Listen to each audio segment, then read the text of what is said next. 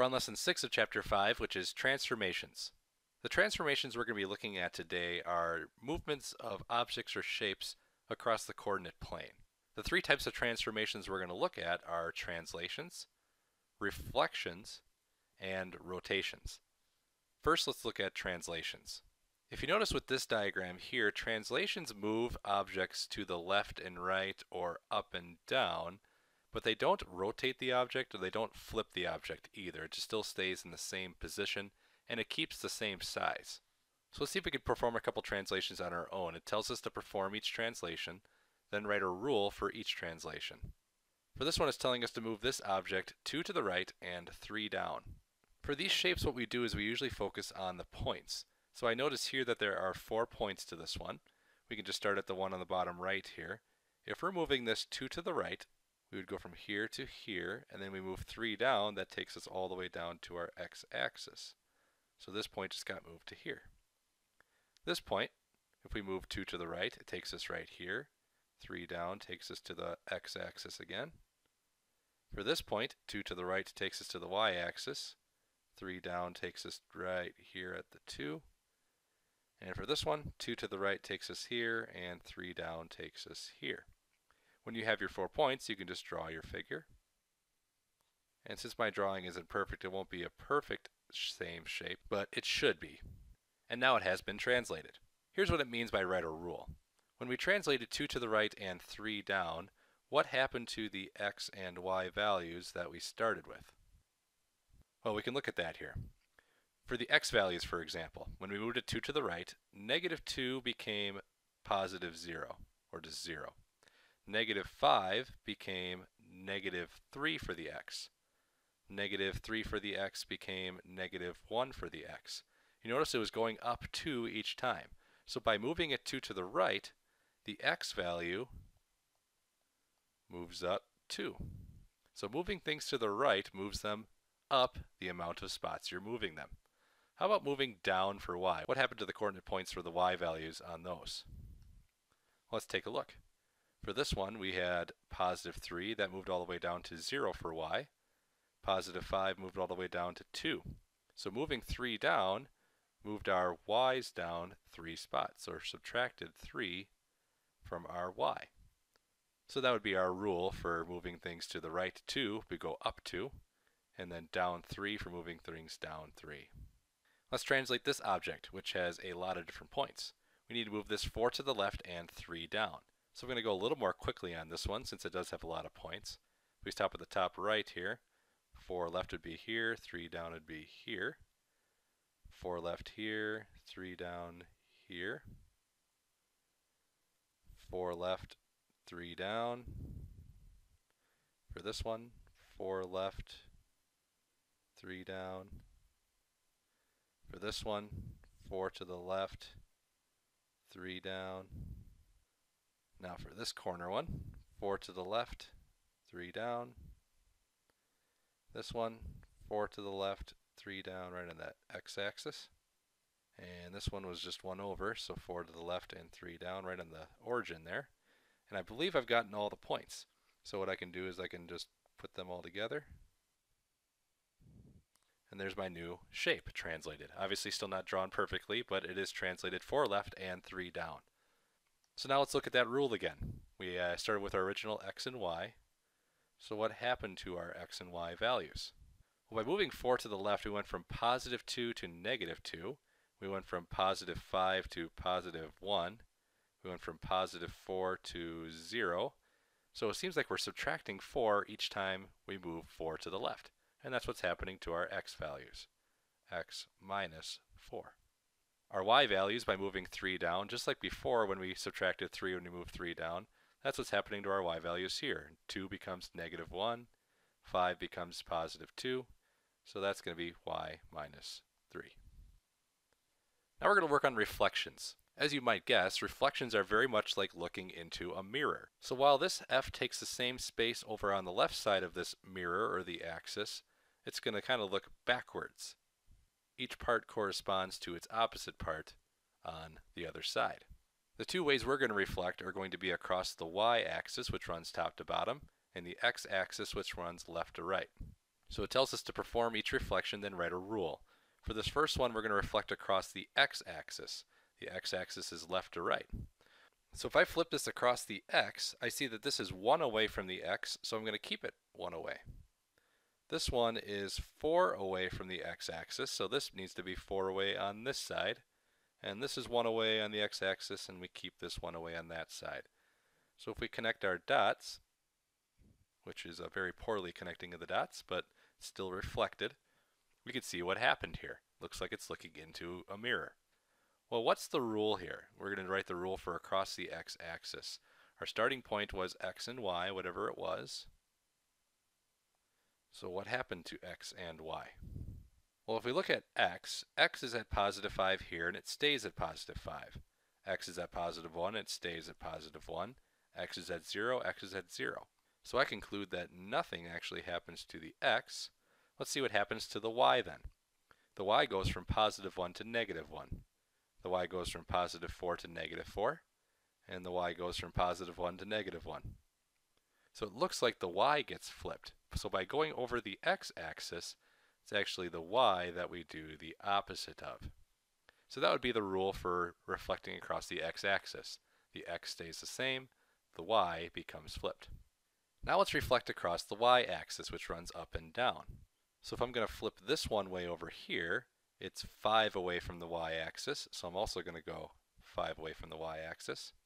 This one's 1 away, so this stays 1 away. And this one's right on the axis, so it actually can just stay on the axis. And now if we connect our points, there we have it. It's reflected across the y-axis. So now let's talk about the rule for this one. What happens to the x and the y? Well, if you look at the x values, the x value for this one was positive 5. Now it's negative 5. 0 stays at 0. 1 turns into negative 1 it looks like the x is always going to be the opposite, and 0 is still the opposite of 0, I guess. So if we write this, we would do the opposite of x, or the flip of x. And then y stays from 4 to 4, starts at 1, ends at 1, starts at 1, ends at 1. So therefore, y would just stay the same. So here's our rules. When we go across the y-axis, the x is flipped. When we go across the x-axis, the y is the opposite. Now we're going to work on rotations, and I would say of the three, the rotations are a little bit of the trickiest because we don't quite see this a lot. But as you notice, if we rotate clockwise, for example, as the R moves in this direction, it actually kind of turns, or rotates, you could say, so that when it's all the way down here, it should be upside down. When it's over here, it should kind of be facing sideways again, and then back to its normal spot. We can also rotate counterclockwise, backwards, and we actually could do a complete 180 rotation like we're about to do again here. So let's try all three rotations. The first rotation we want to do is a 90 degree clockwise rotation around the origin. So remember we talked about that clockwise is like going like a clock. 90 degrees is one quarter turn, meaning it's one fourth of a way around all the way. If I can show that here, Right now, we're going clockwise. We're doing one quarter of a turn, meaning only one side, I guess you could say. So here's what we originally had, top right corner. Notice it's in the top right corner now. As we do a rotation, it goes to the bottom right corner. Now look at the position. We have this part facing up, the top dot here facing up. Now the top dot's facing to the right. So let's see if we can actually plot this out. Here I notice that this is all the way on the top and 2 away from the axis, so if I rotate that, it's all the way on the right and 2 away from the middle axis. So we can plot that out here. So that would be right here. If I do the same thing for this dot right here, the lower dot, it would be 2 to the left of the first dot. So right here. And if we do that one more time with that last dot, because that last dot a little bit tricky, it would be 1 over and 2 down, 1 to the left and 2 down of that left dot. So 1 to the left and 2 down. And there that goes. So if we connect the dots, we just rotated this figure 90 degrees, clockwise. Let's see if we can figure out a rule for this one. And this is a little bit of the trickier one here. We have x and y to start. Let's look at this one for example. We have 2 and 5. What does 2 and 5 turn into? Well, 2 and 5 turns into 5 and negative 2.